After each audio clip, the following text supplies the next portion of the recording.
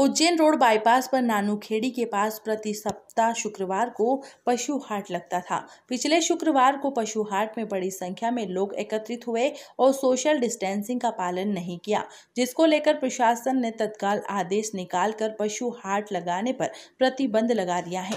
जिसके बाद आज शुक्रवार को कुछ लोग आगामी त्योहार ईद के चलते बकरों को लेकर पहुँचे, जिस पर प्रशासन ने सभी को पशु हाट बंद होने का हवाला देकर रवाना किया।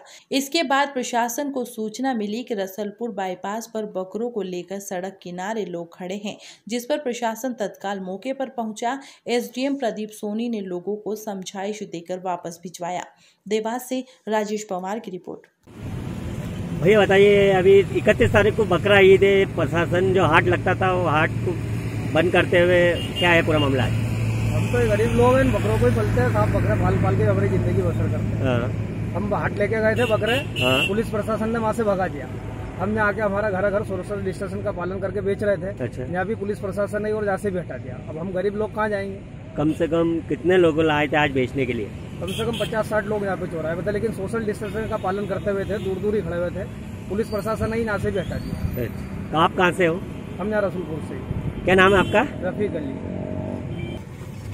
सर बताइए अभी आप रसलपुर पर आए पॉइंट देखने आज बकरा वनों का हाट लग रहा था क्या पूरा?